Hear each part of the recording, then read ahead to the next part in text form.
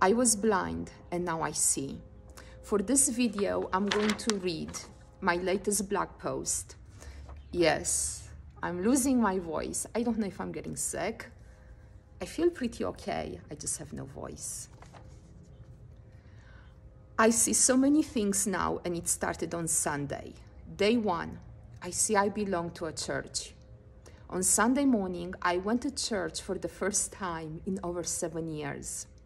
It was emotional getting ready, driving there, walking into church, sitting through the service. It is humbling and scary and painful to remove all pretense as I found myself admitting, I don't even know why I'm crying, God.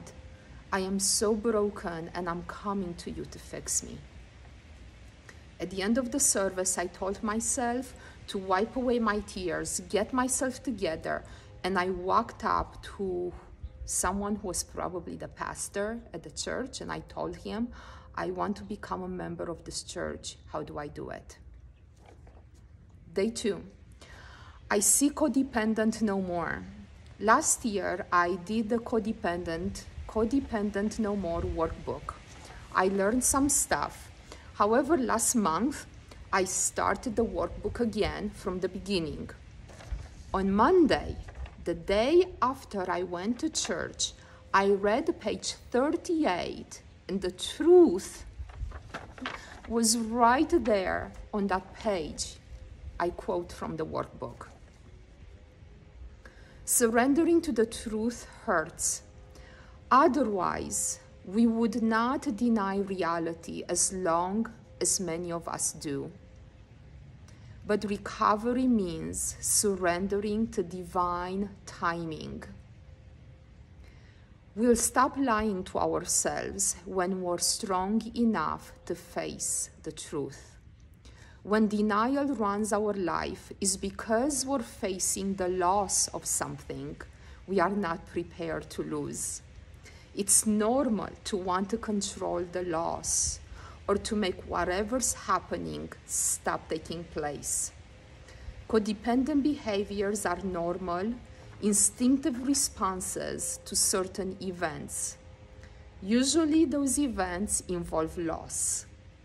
Recovery often means learning to do the opposite of what we think we should do. We learn to let go and take care of ourselves. Day three, I see my life. On Tuesday, the day after I read page 38, and two days after I went to church, as I was moving through my day, a big canvas unfolded before me. It was my life. It's a life of white and gold, my two favorite colors sprinkled with blue and green.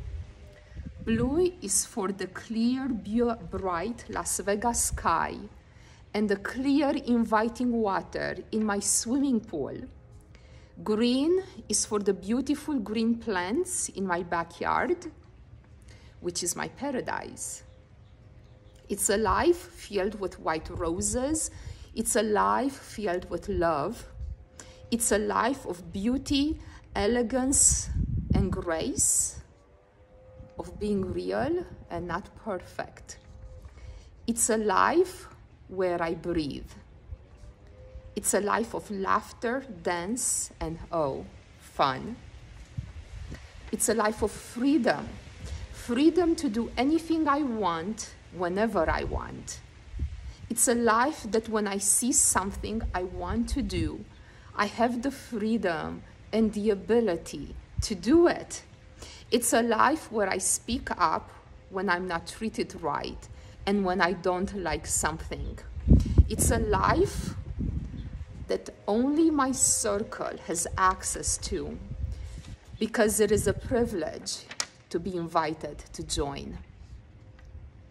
Now that I see, each day I pray to learn to let go, detach, take care of myself, and enjoy my life for which I sacrificed a lot.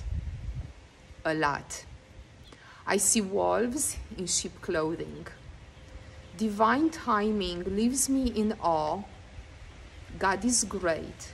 He is the King of miracles.